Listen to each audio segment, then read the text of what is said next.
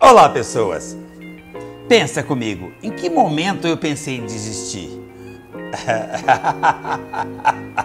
então, esse momento não chegou ainda, tá? Se você estiver esperando, pega uma cadeirinha e senta. Isso para mim não é uma opção. Desistir não é uma possibilidade.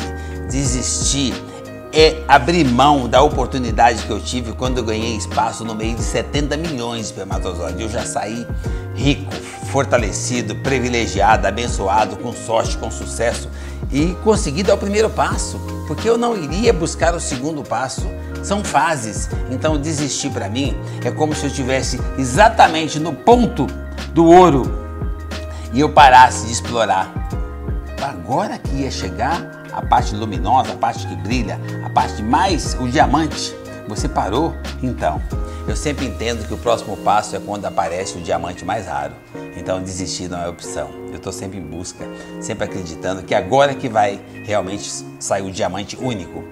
E isso acontece comigo e é possível para você também. Então, a hora que você pensar, passar pela cabeça, lembra, é quando você está mais próximo do diamante. Desistir não pode ser uma opção.